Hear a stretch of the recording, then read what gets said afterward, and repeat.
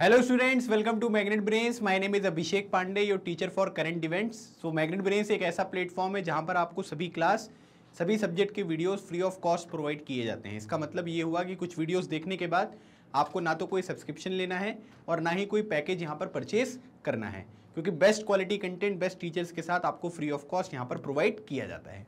सो so, आज मैं आपके लिए करंट इवेंट्स का एक नया इशू यहाँ पर लेकर आया हूँ। और इसमें हम लोग एक बहुत ही मतलब इंपॉर्टेंट टॉपिक डिस्कस करेंगे। है ना? हो सकता है कि आप में से कई लोगों को इसके बारे में जानकारी ना हो, है ना? लेकिन आज इस सेशन को देखने के बाद आपको इसके बारे में बहुत अच्छी इन्फॉर्मेशन जो है वो यहाँ पर हो जाएगी। क्योंकि इसमें हम यहाँ पर क्या करने वाले हैं कि एक आइलैंड है, जिसका नाम है फाकलैंड आइलैंड ठीक है? तो इससे रिलेटेड यहाँ पर इशू जो है वो निकल कर सामने आया है। तो फाकलैंड जो आइलैंड यहाँ पर आपको देखने को मिलेगा, इसकी लोकेशन क्या है? है ना? और अभी एक्चुअली क्या हुआ है कि ब्रिटेन ने चाइना का एक क्लेम है जिसमें वो क्या कर रहे हैं कि भाई, एक कंट्री है अर्जेंटीना, उसको यहाँ पर सपोर्ट कर रहे हैं। किससे? रिगार्डिंग की जो फाकलैंड आइलैंड है, वो यहाँ पर क्या है कि उसमें अर्जेंटीना का यहाँ पर अधिकार क्षेत्र है। ये ब्रिटेन का कोई अधिकार क्षेत्र नहीं है। तो यहाँ पर क्या है कि चाइना ने इस बात को रीअफर्म यहाँ पर किया है कि हम जो है वो अर्जेंटीना के यहाँ पर साथ में हैं। तो ब्रिटेन ने क्या किया कि चाइना का जो स्टेटमेंट था ना, उसको रिजेक्ट किया है। तो अब यहाँ पर क्या है कि ये तो करंट इवेंट है। मतलब इस तरीके की चीज़ें जो है, वो यहाँ पर न्यूज़ में आपको देखने को मिलेंगी। लेकिन है क्या ये डिस्प्यूट है ना? मतलब ये फाकलैंड आइलैंड इशू कैसे है? है ना? इसकी लोकेशन कहाँ पर है? और इसमें ब्रिटेन है ना? और इसमें चाइना और इसमें अगर आप देखोगे अर्जेंटीना तो एशिया हो गया यूरोप हो गया साउथ अमेरिका हो गया, सारे कॉन्टिनेंट वाले यहाँ पर क्यों इन्वॉल्व हो रहे हैं? उन सब चीज़ों के बारे में इस टॉपिक में हम डिस्कशन करेंगे। काफ़ी इंटरेस्टिंग यहाँ पर ये इशू यहाँ पर होने वाला है और इससे आपके एग्जामिनेशन में क्वेश्चन वगैरह भी जो है, वो पूछे जा सकते हैं। ठीक है? चलिए। सबसे पहले हम यहाँ पर देखते हैं कि ये जो न्यूज़ में है, ये पर्टिकुलर इशू ये न्यूज़ में क्यों है? तो रिसेंटली यहाँ पर क्या हुआ है कि ब्रिटेन ने रिजेक्ट किया एक स्टेटमेंट फ्रॉम चाइना ठीक है? चाइना ने एक स्टेटमेंट यहाँ पर दिया है, उसको ब्रिटेन ने जो है वो यहाँ पर रिजेक्ट किया है। तो चाइना का यहाँ पर स्टेटमेंट क्या है कि that affirm its support for Argentina claim to the Falkland island ठीक है? मतलब यहाँ पर क्या है कि अर्जेंटीना का जो यहाँ पर आप ये कह सकते हैं कि क्लेम करता है, किसको? फाकलैंड आइलैंड है ना? लेकिन ये फाकलैंड आइलैंड जो है, वो अभी किसके पास है? वो अभी आपको ब्रिटेन के पास देखने को मिलेगा, है ना? ब्रिटेन की कई सारी ओवरसीज यहाँ पर टेरिटरीज हैं, उसी में से अगर आप देखोगे तो वो यहाँ पर फाकलैंड आइलैंड भी देखने को मिलता है। तो यहाँ पर क्या है कि चाइना ये कह रहा है कि भाई ये जो फाकलैंड आइलैंड है ना, वो ब्रिटेन का नहीं है। ये किसका है? ये अर्जेंटीना का है और अर्जेंटीना का हम यहाँ पर सपोर्ट करते हैं। ब्रिटेन ने कहा कि नहीं, हम तुम्हारे सपोर्ट को रिजेक्ट करते हैं। हम इस तरीके की कोई चीज़ यहाँ पर नहीं मानेंगे, ठीक है? Earlier China and Argentina issued a joint statement that set China ठीक है? मतलब इनका एक ज्वाइंट स्टेटमेंट यहाँ पर था।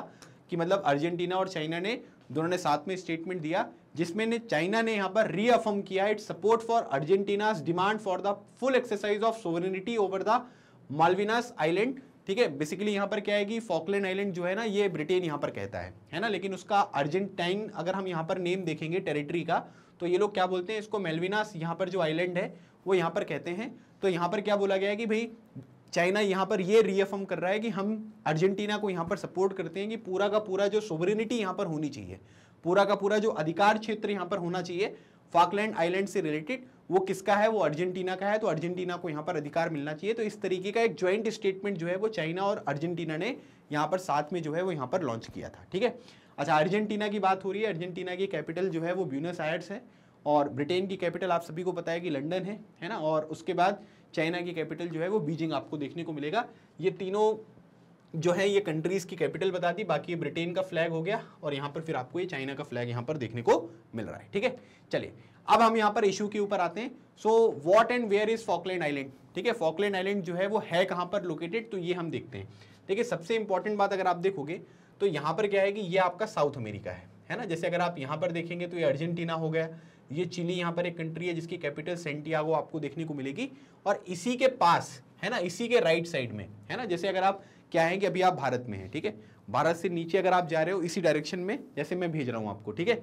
ऐसे जा रहे हो तो इधर राइट साइड में अगर आप देखोगे तो यहाँ पर क्या है कि आपको नीचे जाओगे तो अफ्रीका देखने को मिलेगा। फिर उसके बाद साइड में अगर आप देखोगे तो ऊपर नॉर्थ अमेरिका फिर सेंट्रल अमेरिका और नीचे साउथ अमेरिका तो साउथ अमेरिका यहाँ पर आपको देखने को मिलता है। साउथ अमेरिका जो है अगर आप देखोगे तो मैंने आप लोगों को जो हमारी ज्योग्राफी के सेशंस होते हैं, उसमें भी यहाँ पर पढ़ाया हुआ है कि यहाँ पर आपको पैसिफिक ओशन देखने को मिलेगा और पैसिफिक ओशन को अगर ऐसे रोटेट कर देंगे तो इंडियन ओशन यहाँ पर आ जाएगा, ठीक है? तो ये अर्जेंटीना और चिली जो है, ये साउथ अमेरिका है और इसी के पास और यहाँ पर अगर आप देखोगे तो नीचे की तरफ़ जो है, ये आपको अटलांटिक ओशन यहाँ पर देखने को मिलता है, ठीक है? तो अटलांटिक ओशन यहाँ पर हो गया और इसी के पास ये जो पर्टिकुलर रीजन है, ठीक है? जहाँ पर मैं ये आपको शेडेड पार्ट दिखा रहा हूँ ये जो पर्टिकुलर रीजन यहाँ पर होगा, इसमें इस तरीके का ये फॉकलैंड आइलैंड आपको देखने को मिलता है। फॉकलैंड आइलैंड के दो पार्ट हैं। एक आपको ईस्ट फॉकलैंड देखने को मिलेगा और एक वेस्ट फॉकलैंड देखने को मिलेगा। और फॉकलैंड आइलैंड जो है, इसकी जो कैपिटल आपको देखने को मिलेगी, इसको बोलते हैं स्टैनली ठीक है? सो स्टैनली जो है इसकी कैपिटल है और वेस्ट फॉकलैंड और ईस्ट फॉकलैंड जो है, ये दो पार्ट आपको यहाँ पर देखने को मिलते हैं। ठीक है? तो अब यहाँ पर बताया जा रहा है कि फॉकलैंड आइलैंड जो है, इसको हम मेलविनास आइलैंड भी यहाँ पर कहते हैं या स्पेनिश जो आइल्स यहाँ पर मेलविनास है अलग अलग तरीके के नाम है इनके, ठीक है? लेकिन इसमें मेलविनास बोल लो या फॉकलैंड आइलैंड बोल लो, ये सब एक ही है। Internally self governing overseas territory of United Kingdom in the southern Atlantic Ocean ठीक है? याद रखिएगा यहाँ पर क्या है कि ये सेल्फ गवर्निंग है। मतलब इसमें ब्रिटेन इसको गवर्न नहीं करता है, वहाँ पर क्या है कि वहाँ पर जो भी आपको पॉलिटिकल अथॉरिटी देखने को मिलेगी, वो उसको यहाँ पर गवर्न करती है, ठीक है? लेकिन याद रखिएगा, ये ओवरसीज टेरिटरी है। जैसे अगर इंडिया के बारे में बात करेंगे सो इंडिया भी क्या है ब्रिटेन की ओवरसीज एक टेरिटरी आपको देखने को मिलेगी, ठीक है? Of the United Kingdom in the southern Atlantic Ocean ठीक है? देखने को मिलेगी नहीं मतलब देखने को मिलती थी। अब इंडिया क्या है कि इंडिया जो है वो एक यहाँ पर आज़ाद कंट्री है और भारत का जो अधिकार क्षेत्र है, वो भारत यहाँ पर डिसाइड करता है, ठीक है? लेकिन पहले यहाँ पर क्या होता था कि जो ब्रिटेन है, उसकी एक ओवरसीज टेरिटरी जो है, वो आपको इंडिया देखने को मिलता था। तो याद रखिएगा यूनाइटेड किंगडम की ओवरसीज टेरिटरी है और यहाँ पर ये साउथ अटलांटिक ओशन में तो एक क्वेश्चन ये बन सकता है कि फॉकलैंड जो आइलैंड यहाँ पर आपको देखने को मिलेगा ये कौन से ओशन में है? ये आपको अटलांटिक ओशन में देखने को मिलेगा, ठीक है? यहाँ पर जो है, ये आपको पैसिफिक ओशन भी देखने को मिलेगा, बिल्कुल याद रखिएगा, है ना? जो एलिनो वाला फिनोमिना होता है ना पेरू वाला तो उसमें आपको यहाँ पर पैसिफिक ओशन देखने को मिलेगा और इधर जो है, ये अटलांटिक ओशन है। पैसिफिक ओशन को अटलांटिक ओशन से जो है, वो पनामा कैनल जो है, वो यहाँ पर कनेक्ट करती है। जैसे स्वेज कैनल जो है, वो मेडिटरनियन सी को रेड सी से कनेक्ट करती है, उसी तरीके से पनामा कैनल पैसिफिक ओशन को अटलांटिक ओशन से यहाँ पर कनेक्ट करती है, ठीक है? तो ये बात आपको ध्यान रखनी है। अब यहाँ पर क्या है कि अगर हम देखेंगे कि इसकी जो कैपिटल और मेजर टाउन है वो स्टैनली आपको देखने को मिलेगा। कहाँ पर है? ईस्ट फॉकलैंड में, ठीक है? याद रखिएगा, ये ईस्ट फॉकलैंड में देखने को मिलता है। Are also several scattered small settlement as well as a royal air force base that is based at mount pleasant, ठीक है? तो यहाँ पर क्या है कि एक एयरफोर्स का बेस भी आपको देखने को मिलेगा। तो यहाँ पर एक माउंट प्लीजेंट एक जगह है, ठीक है? वहाँ पर रॉयल एयरफोर्स का एक बेस है। और छोटे छोटे सेटलमेंट्स आपको और भी इसके आसपास देखने को मिलेंगे, लेकिन इनका मेजर जो टाउन है, वो आपको कैपिटल सिटी स्टैनली यहाँ पर देखने को मिलता है। The two main island East Falkland and West Falkland and about 200 smaller island ठीक है? तो मेन जो है वो ईस्ट फॉकलैंड और ये वेस्ट फॉकलैंड हो गया, और फिर छोटे छोटे बहुत सारे आपको आइलैंड जो है, उनका यहाँ पर समूह देखने को मिलता है, ठीक है? तो ये पूरा का पूरा इसकी लोकेशन यहाँ पर हो गई, और कैसे कैसे पार्ट हैं, है ना? माउंट प्लीजेंट याद रखिएगा, कहाँ पर है? ये फॉकलैंड आइलैंड में है। यहाँ पर आपको रॉयल एयरफोर्स का एक बेस भी यहाँ पर देखने को मिलता है, ठीक है? अब हम बात करते हैं कि what is the history of the Falkland island ठीक है? अब इसका इतिहास समझते हैं मतलब ऐसे कोई कैसे क्लेम कर रहा है? ब्रिटेन तो यूरोप में बैठा हुआ है है ना? फिर वो यहाँ पर साउथ अमेरिका के पास जो कुछ आइलैंड्स हैं, उसको कैसे क्लेम कर रहा है है ना? और आज के टाइम पीरियड पर चाइना क्यों कूद गया? तो इन सब चीज़ों को अब अब हम इसका इतिहास समझते हैं। देखिए ब्रिटिशर्स के बारे में अगर हम बात करेंगे तो 1765 में were the first to settle West Falkland but they were driven off in 1770 by the Spanish who had bought out the French settlement about 1767 ठीक है? मतलब अगर आप देखेंगे तो सबसे पहले क्या हुआ कि 1765 में जैसे ब्रिटिशर्स हर जगह पहुँचते थे, वैसे ही वो लोग यहाँ पर क्या हो गए कि जो यहाँ पर ये वेस्ट फॉकलैंड यहाँ पर था। ठीक है? मतलब इस पर्टिकुलर रीजन में अगर आप देखोगे, यहाँ पर तो सबसे पहले ब्रिटिशर्स जो है, वो आकर यहाँ पर सेटल हो गए। ठीक है लेकिन बाद में यहाँ पर क्या हुआ कि उनको यहाँ पर जाना पड़ा 1770 में। क्यों? क्योंकि उस टाइम पीरियड पर जो स्पेन है ये स्पेन का यहाँ पर मैप आपको देखने को मिलेगा। स्पेन की जो राजधानी है उसको हम मैड्रिड बोलते हैं जहाँ पर वर्ल्ड टूरिज़्म ऑर्गेनाइजेशन का हेडक्वार्टर आपको देखने को मिलता है। तो इन्होंने क्या कर लिया था? जो फ्रेंच सेटलमेंट है उसको 1767 में परचेज कर लिया था। तो इसकी वजह से क्या हुआ कि आप ये कह सकते हैं कि इसमें जो कंट्रोल यहाँ पर हो गया, वो किसका हो गया? वो यहाँ पर स्पेन का हो गया और इसी वजह से क्या हुआ कि 1765 में ब्रिटिशर्स के आने के बाद भी उनको यहाँ से जाना पड़ा। The British outpost on West Falkland was restored in 1771 after threat of war but then the British withdrew from the island in 1774 ठीक है? अब यहाँ पर क्या हुआ कि वो लोग यहाँ पर क्या हुआ कि 1770 वगैरह में चले गए। लेकिन ब्रिटिशर्स की एक आदत यहाँ पर ये यह खराब है कि जब वो यहाँ पर जाने लगते हैं तो उनको लगता है बड़ा बुरा, है ना कि यार हम लोग यहाँ रहते थे, क्यों जा रहे हैं हम यहाँ पर? तो इन्होंने क्या कर दिया कि वो वापस आ गए 1771 में। उनको समझ, लगा होगा कि यार हमने वो आइलैंड यहाँ पर छोड़ दिया जिसकी सिग्निफिकेंस जो है वो भविष्य में बहुत ज़्यादा हो सकती है। तो उन्होंने क्या कर दिया कि 1771 में वो वापस आ गए। उन्होंने बोल दिया कि अगर हमको नहीं दोगे तो हम यहाँ पर क्या कर देंगे? तुम्हारे ऊपर अटैक कर देंगे। ठीक है? लेकिन यहाँ पर क्या हुआ कि उन्होंने 1774 में जो है वो आइलैंड से फिर से विड्रॉ यहाँ पर कर लिया। For economic reasons without renouncing their claim to the Falkland ठीक है? तो याद रखिएगा, अब उनके में क्या है कि अब उस, वहाँ पर आकर रहोगे तो इकोनॉमिक यहाँ पर जो चीज़ें हैं बर्डन आपके ऊपर पड़ेगा, है ना? खर्चा यहाँ पर आएगा, वहाँ पर जो लोग रहेंगे, उनको सब चीज़ें आपको प्रोवाइड करनी पड़ेंगी। तो इकोनॉमिक रीजन से जो है, वो 1774 में वापस चले गए। लेकिन याद रखिएगा, उन्होंने यहाँ पर क्या किया कि रिनाउंस नहीं किया फॉकलैंड पर अपना यहाँ पर क्लेम मतलब उनको कहना ये था कि अभी हमने डिक्लेयर नहीं किया कि फॉकलैंड हमारा नहीं है। हम इसको छोड़कर जा रहे हैं, लेकिन फॉकलैंड जो है वो हमारा ही है। तो अभी तक हमको क्या समझ में आया? हमको ये समझ में आया कि जो वेस्ट फॉकलैंड था, उसमें 1765 में जो है, वो ब्रिटिशर्स यहाँ पर आए, ठीक है? 1770 में जो है, वो यहाँ पर क्या हो गए कि वापस चले गए। क्यों? क्योंकि स्पेन ने क्या कर लिया था कि जो फ्रेंच सेटलमेंट था, जो कि फॉकलैंड का भी फ्रेंच सेटलमेंट ही था तो वहाँ पर क्या हुआ कि उसको परचेज कर लिया। तो स्पेन का हो गया। 1767 में परचेज किया और 1770 में जो ब्रिटिशर्स हैं, वो वहाँ से चले गए। फिर क्या हुआ कि 1771 में वो वापस आए कौन? ब्रिटिशर्स उन्होंने बोल दिया कि अगर हमको नहीं दोगे तो हम यहाँ पर क्या करेंगे कि लड़ाई लड़ लेंगे, है ना? लेकिन 1774 में वो चले गए। क्यों? क्योंकि थोड़ा सा पैसे वगैरह ज़्यादा लग रहे थे इकोनॉमिक रीजंस थे, और इसीलिए क्या हुआ कि उन्होंने अपना जो क्लेम था किसके ऊपर? फॉकलैंड आइलैंड के ऊपर, वो रिनाउंस नहीं किया। मतलब छोड़ा नहीं, लेकिन वो लोग वहाँ से चले गए। तो ये अभी तक का डेवलपमेंट मैंने आपको बताया एटीन सेंचुरी में इस तरीके की बातें जो हैं, वो यहाँ पर हो रही थी। Spain maintain a settlement on East Falkland which is called the Soledad island until 1811 ठीक है? तो अब यहाँ पर क्या हुआ कि अब मैंने आपको ये बताया कि ये जो वेस्ट फॉकलैंड यहाँ पर था, इसमें ब्रिटिशर्स का कंट्रोल था, लेकिन ईस्ट फॉकलैंड जो आपको देखने को मिलेगा, इसमें यहाँ पर किसकी रूलिंग थी? अगर आप देखोगे तो 1811 तक, है ना? आप देखेंगे तो यहाँ पर क्या है कि स्पेन जो है इसको यहाँ पर मेंटेन कर रहा था, ठीक है? एक settlement in 1820 the Argentina government which had declare its its independence from the Spain in 1816 ठीक है? मतलब यहाँ पर क्या है? कि अर्जेंटीना जो है, उसको गुलाम किसने बनाया है? उसको गुलाम बनाया है स्पेन ने। तो यहाँ पर क्या हुआ कि जो अर्जेंटीना की सरकार है, उसने 1820 में जो है, वो अपनी इंडिपेंडेंस जो है, वो यहाँ पर डिक्लेयर करी। मतलब आप ये कह सकते हैं कि eighteen twenty the Argentina government which had declare independence from Spain in 1816 मतलब इनको इंडिपेंडेंस जो है, वो 1816 में मिली थी। लेकिन अर्जेंटीना की जो गवर्नमेंट है, उसने 1820 में यहाँ पर बोला कि भाई प्रोक्लेम किया it sovereignty over the Falklands ठीक है? अब यहाँ पर क्या है कि अभी हमने देखा कि फ्रांस के पास था, फ्रांस के बाद जो है वो यहाँ पर स्पेन के पास चला गया, ब्रिटिशर्स आए, ब्रिटिशर्स ने उसको क्लेम किया। लेकिन स्पेन ने क्या किया था कि स्पेन ने जो है वो अर्जेंटीना को यहाँ पर गुलाम बनाया था। तो जब 1816 में यहाँ पर क्या हुआ कि अर्जेंटीना को यहाँ पर इंडिपेंडेंस मिल गई तो 1820 में उनकी सरकार ने ये बोला कि जो ये स्पेन के पास ये फॉकलैंड्स हैं, इसके ऊपर हमारा अधिकार क्षेत्र है। मतलब इन्होंने बोला कि proclaimed its sovereignty over the Falklands ठीक है? तो फॉकलैंड जो है वो अर्जेंटीना का है। इस तरीके की बात आपको 1820 में यहाँ पर देखने को मिल गई। और स्पेन जो है वो यहाँ पर क्या कर रहा था कि स्पेन जो ईस्ट वाला पार्ट था, है ना? मतलब जो ईस्ट फॉकलैंड वाला पार्ट था, यहाँ पर एक सेटलमेंट जो है उसको यहाँ पर मेंटेन कर रहा था। 1831 में US warship destroyed the Argentine ठीक है? Settlement on East Falkland in reprisal of the arrest of three US ship that had been hunting seals in the area तो अब यहाँ पर क्या हुआ कि यूएस के जो यहाँ पर वॉरशिप वगैरह थे, वो लोग क्या कर रहे थे कि वो यहाँ पर क्या कर रहे हैं कि यूएस के शिप जो है ना, वो सील्स यहाँ पर जो है उनको हंट कर रहे थे, है ना? मतलब जो यहाँ पर आप ये कह सकते हैं कि जो समुद्र में सील्स यहाँ पर मिलती हैं, उनको हंट कर रहे थे। तो यहाँ पर क्या हुआ कि इन्होंने क्या कर लिया कि तीन यूएस जो यहाँ पर शिप हैं, उनको अरेस्ट कर लिया। तो अब यूएस को गुस्सा आ गया, है ना कि अर्जेंटीना की मतलब ये कैसी हिम्मत ऐसी कैसी हो गई कि भाई हमको आपने यहाँ पर क्या किया कि अरेस्ट कर लिया हमारे शिप्स को? है ना? हम सील सी तो यहाँ पर हंट कर रहे थे। तो उन्होंने क्या कर लिया कि जो अर्जेंटीना का यहाँ पर ईस्ट फॉकलैंड पर जो आपको यहाँ पर सेटलमेंट देखने को मिलता था, वो यहाँ पर क्या हुआ कि उसने क्या किया 1831 में उसको डिस्ट्रॉय कर दिया। है ना? मतलब यूएस के शिप्स जो है, उनको यहाँ पर रोका अर्जेंटीना ने, उनको अरेस्ट यहाँ पर किया। इसकी वजह से क्या हुआ कि यूएस के जो लोग हैं, उनको यहाँ पर गुस्सा आ गया और उनके वॉरशिप्स ने जो अर्जेंटीना का यहाँ पर क्या था? सेटलमेंट कहाँ पर? ईस्ट फॉकलैंड में, वेस्ट वाला जो था वो ब्रिटिशर्स का है, याद रखिएगा, है ना? तभी चीज़ें जो है वो आपको कनेक्ट होती हुई दिखाई देंगी।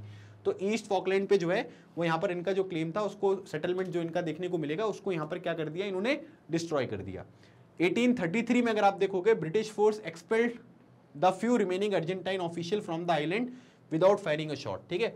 और 1833 में जो कुछ लोग बचे हुए थे, क्योंकि यूएस भी यहाँ पर इन्वॉल्व हो गया था। तो यूएस जब यहाँ पर इन्वॉल्व हो गया तो जो कुछ बचे हुए लोग थे तो ब्रिटिशर्स ने यहाँ पर क्या किया कि जो अर्जेंटीनियन यहाँ पर लोग थे, उनको यहाँ पर बिना धमकी देकर यहाँ पर भगा दिया।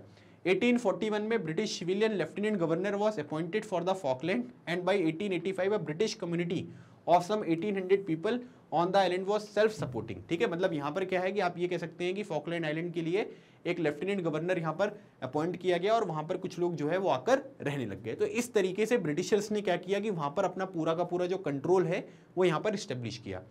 Argentina regularly protested Britain's occupation of the island ठीक है? और अर्जेंटीना जो है वो तब से यहाँ पर आप ये कह सकते हैं कि ब्रिटिशर्स जो हैं, उनको यहाँ पर क्या है कि उनके अगेंस्ट में यहाँ पर बोलते हैं कि भाई ब्रिटेन का यहाँ पर कोई रोल नहीं है है ना? और हमको भी समझ में आ रहा है कि ब्रिटेन का कौन सा रोल है? कोई रोल नहीं है। तो अर्जेंटीना यहाँ पर क्या करता है कि रेगुलरली यहाँ पर प्रोटेस्ट करता है कि ब्रिटेन ने यहाँ पर ज़बरदस्ती जो है आइलैंड वेस्ट फॉकलैंड और ईस्ट फॉकलैंड पर जो है ऑक्यूपेशन वहाँ पर किया है, क्योंकि वेस्ट में तो पहले ही थे। ईस्ट में जो थे वो स्पेन वाले लोग थे। स्पेन से जब यहाँ पर अर्जेंटीना को इंडिपेंडेंस मिली तो अर्जेंटीना को ईस्ट फॉकलैंड यहाँ पर मिल गया। यूएस ने डिस्ट्रॉय कर दिया उनका वो सेटलमेंट क्यों? क्योंकि उन्होंने यूएस शिप्स को यहाँ पर अरेस्ट कर लिया था। तो जो बचे हुए लोग थे, उनको वहाँ से ब्रिटेन ने भगा दिया। और ब्रिटेन ने क्या किया कि लेफ्टिनेंट गवर्नर की अगुवाई में एक कम्युनिटी जो है वो यहाँ पर इस्टेब्लिश कर ली कि भाई आप लोग यहाँ पर रहना स्टार्ट करो। और अर्जेंटीना जो है, इसी की वजह से आप ये कह सकते हैं कि लगातार ब्रिटेन का जो ऑक्यूपेशन यहाँ पर आइलैंड का, उसके अगेंस्ट में यहाँ पर आवाज़ उठाता है कि ब्रिटिशर्स ने यहाँ पर जो ऑक्यूपेशन किया है, ये गलत तरीके से किया तो ये पूरा का पूरा एक इतिहास आपको समझ में आ रहा है कि जो फॉकलैंड आइलैंड यहाँ पर इशू है, वो किस तरीके से आगे बढ़ा। फिर क्या हुआ? ये अर्जेंटीना का मैप है। Flag after World War One World War Two 1939 से 1945 तक यहाँ पर हुआ था World War Two the issue of sovereignty over the Falkland island shifted to the United Nation when in 1964 the island status was debated by the UN committee on the decolonisation ठीक है तो अब यहाँ पर क्या हुआ कि जब वर्ल्ड वॉर टू यहाँ पर समाप्त हुआ, है ना 1939 से 45 तो यहाँ पर क्या हुआ कि डीकोलोनाइजेशन के बारे में बात हुई, है ना। पहले हमने क्या किया था कि वर्ल्ड वॉर वन के बाद लीग ऑफ़ नेशन को यहाँ पर इस्टेब्लिश किया था, है ना, कि भाई वर्ल्ड वॉर टू को प्रिवेंट करना है। लेकिन वर्ल्ड वॉर टू हो गया, फिर 24 अक्टूबर 1945 को हमने यूनाइटेड नेशन का इस्टेब्लिशमेंट यहाँ पर किया। तो अब यहाँ पर क्या है कि डी कॉलोनाइजेशन के बारे में बात हुई कि भाई जिसको जिसको आपने यहाँ पर ये गुलाम वगैरह बनाया हुआ ये सब खत्म करिए है। ना? डी कॉलोनाइजेशन यहाँ पर होना चाहिए। तो फिर क्या हुआ कि ये जो फॉकलैंड आइलैंड यहाँ पर था, इसकी जो सोवरेनिटी वाला इशू यहाँ पर है, वो यूनाइटेड नेशन में डिस्कस किया जाने लग गया। है ना कि भाई ये किस तरीके का इशू है? है ना? किस तरीके से डीकोलोनाइजेशन होगा? इन सब चीज़ों के बारे में यूनाइटेड नेशन में बात हुई। 1965 में देखोगे तो यूनाइटेड नेशन जनरल असेंबली ने अप्रूव किया resolution inviting Britain and Argentina to hold discussion to find a peaceful solution to the dispute तो यहाँ पर क्या हुआ कि अर्जेंटीना और ब्रिटेन को यहाँ पर 1965 में यूएन जनरल असेंबली ने यहाँ पर बुलाया कि आप लोग आइए, आप लोग आपस में बातचीत करिए और यहाँ पर ये फाइंड आउट करिए कि किस तरीके से जो पीसफुल सॉल्यूशन यहाँ पर हो सकता है, वो यहाँ पर निकाला जा सकता है। These protracted discussion were still proceeding in February 1982 but in April Argentina's military government invaded the Falkland बातचीत यहाँ पर चल रही थी, लेकिन क्या हुआ कि 1982 में जो अप्रैल का महीना था तो उसमें क्या हुआ कि अर्जेंटीना की जो मिलिट्री गवर्नमेंट थी, उसने क्या कर दिया कि फॉकलैंड जो आइलैंड है, उसके ऊपर अटैक कर दिया इन्वेड कर दिया। ठीक है, बातचीत यूनाइटेड नेशन में चल रही है, लेकिन 1982 में अर्जेंटीना की मिलिट्री गवर्नमेंट ने वहाँ पर उसको इन्वेट कर दिया।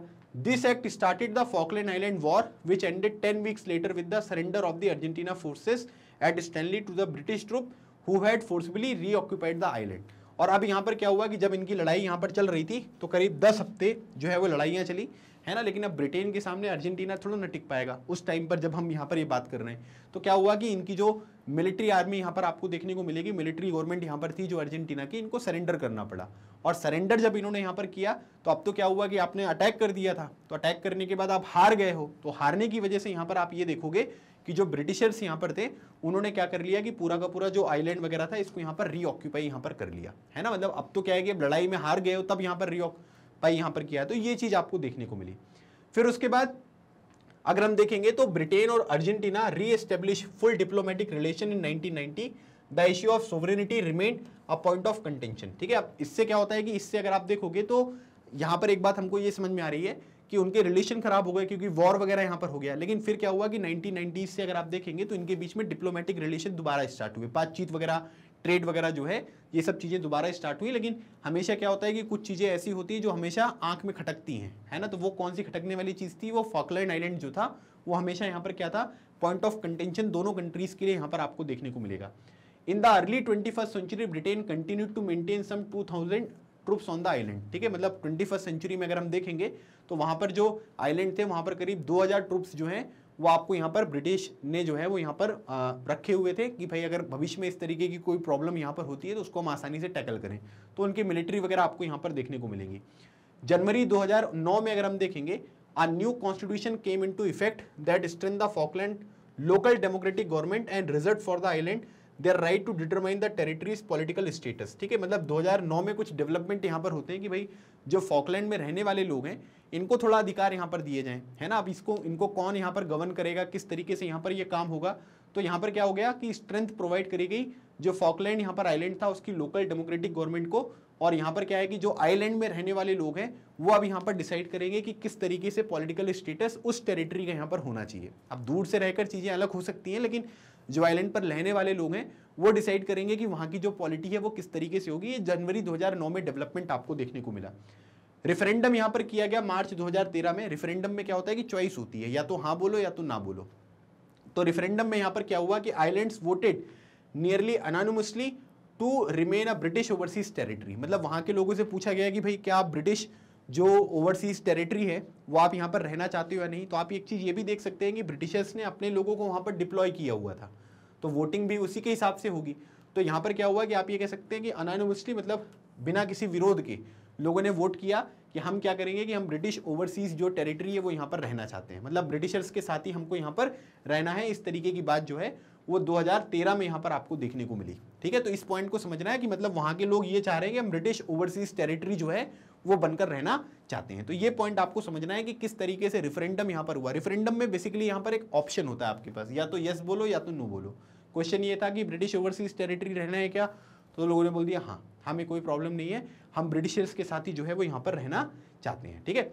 अब उसके बाद हम यहाँ पर ये समझ चुके हैं कि किस तरीके से पूरा का पूरा डेवलपमेंट हुआ। मतलब हमने एटीन सेंचुरी से लेकर ट्वेंटी फ़र्स्ट सेंचुरी तक जो भी लेटेस्ट डेवलपमेंट यहाँ पर हुए उनके बारे में मैंने आपसे बात कर ली है। ठीक है? अब हम यहाँ पर बात करते हैं कि जो ये क्लेम्स यहाँ पर अलग अलग आपको आइलैंड के देखने को मिल रहे हैं ना? कि कोई कह रहा है कि हमारा है है ना? पहले स्पेन था, फिर ब्रिटेन था, फिर अर्जेंटीना आ गया, सब कुछ आ गए। तो ये जो डिफरेंट क्लेम्स आपको देखने को मिल रहे हैं, इनका बेसिस क्या है? इनका आधार यहाँ पर क्या है? किस तरीके से अलग अलग कंट्रीज़ इस फॉकलैंड आइलैंड के लिए यहाँ पर क्लेम कर रही हैं, इस बात को समझते हैं। So Argentina based its claim to the Falkland island based on an official document of 1493 modified by the treaty of यहाँ पर जो लिखा हुआ है टोडेसिलस जो कि 1494 में साइन की गई थी by which Spain and Portugal ठीक है? ये पोर्चुगल का आपको यहाँ पर मैप देखने को मिल रहा है, ठीक है? फ्लैग जिसकी राजधानी यहाँ पर आपको लिस्बन देखने को मिलती है, ठीक है? Had divided the New World between themselves on succession from Spain on the island proximity southern America and on the need to end the colonial situation मतलब यहाँ पर क्या हुआ कि उस टाइम पीरियड पर स्पेन और पोर्चुगल जो थे वो काफ़ी पावरफुल आपको सदर्न अमेरिका में यहाँ पर देखने को मिलते थे। तो उन्होंने क्या कर लिया कि अपना अपना एरिया जो है वो यहाँ पर डिवाइड कर लिया। है ना कि भाई ये तुम्हारा रीजन होगा, ये हमारा रीजन होगा, इस तरीके से बात हुआ। ब्रिटेन मतलब ये यहाँ पर यही बोला जा रहा है। तो अब यहाँ पर क्या हुआ कि स्पेन के पास जो चीज़ें थी, है ना, वो यहाँ पर क्या हुआ कि उन्होंने क्या किया था अर्जेंटीना जो है, उसको यहाँ पर गुलाम बनाया था। तो अर्जेंटीना से जब यहाँ पर उनको आज़ादी मिल गई तो अब स्पेन अर्जेंटीना वाले पार्ट से जो है वो यहाँ से जाएगा दूर, है ना, दूर जाना पड़ेगा ना उसको।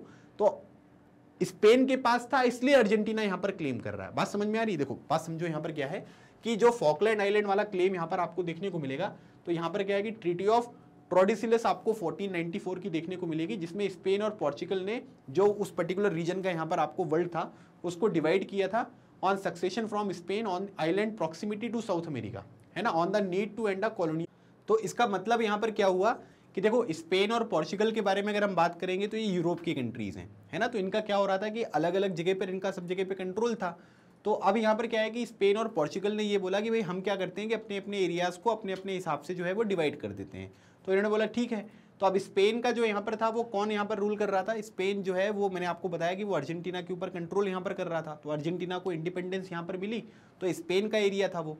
और क्योंकि मैंने आपको ये मैप यहाँ पर दिखाया था, अगर आप इसको देखेंगे तो आपको समझ में आएगा जैसे ये देखो आप है ना ये आपका वेस्ट फॉकलैंड है क्योंकि अर्जेंटीना के पास में यहाँ पर ये है है ना और स्पेन यहाँ पर कंट्रोल कर रहा था ठीक है तो अब यहाँ पर क्या हुआ कि अगर आप देखोगे क्योंकि अर्जेंटीना यहाँ पर है स्पेन यहाँ पर कंट्रोल कर रहा है तो क्या किसका हुआ फिर ये अर्जेंटीना का होगा ना तो इस वजह से यहाँ पर क्या हो रहा है कि जो पूरा का पूरा यहाँ पर अगर आप देखोगे तो यहाँ पर क्या है कि ये जो अर्जेंटीना का यहाँ पर क्लेम आपको देखने को मिलेगा ये इस बेसिस पे यहाँ पर आपको देखने को मिलता है ठीक है तो इसलिए आपको ये पॉइंट यहाँ पर ध्यान रखना है फिर उसके बाद Britain based claims on its open continuous effective possession, occupation, and administration of the island since 1833 and its determination to apply to the Falkland, the principle of self determination as recognized in the United Nation Charter ठीक है तो अब यहाँ पर क्या हुआ कि Britain ये कह रहा है कि हम बहुत टाइम से यहाँ पर रह रहे है ना? हमने रिफरेंडम भी यहाँ पर कराया, वहाँ के लोग ये कह रहे हैं कि भाई हमें ब्रिटेन के साथ यहाँ पर रहना है तो ब्रिटेन का क्लेम ये देखने को मिलता है। तो देखो ब्रिटेन के कई सारे क्लेम जो होते हैं, वो हमेशा कॉन्ट्रोवर्शियल आपको देखने को मिलेंगे, क्योंकि आपने